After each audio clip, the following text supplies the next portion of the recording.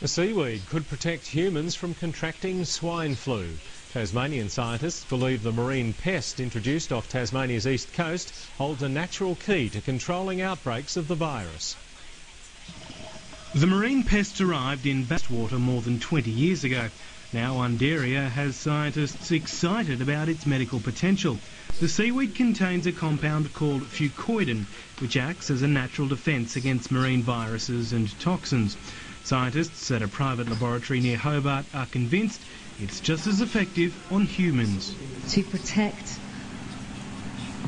against H1N1, to prevent H1N1 from entering the cells of the body.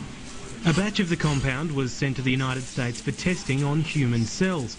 The National Institute of Allergy and Infectious Diseases found fucoidan not only protects the cells, but also stops the virus reproducing. And I happened to open my emails before coming to work in the morning, and I was so excited that I nearly crashed my car.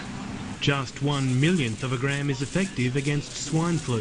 Extremely commercially viable. It's a product that is ready to go to market now um, in certain applications. Those include nasal sprays, hand washed gels, and using the compound in other antiviral treatments. The biotech company is also testing for wider use. Against a range of other uh, viruses and coated viruses. We mentioned HIV, we mentioned um, the herpes simplex virus. The next step is full clinical trials, which are expected to start later this year. Martin Cuddihy, ABC News.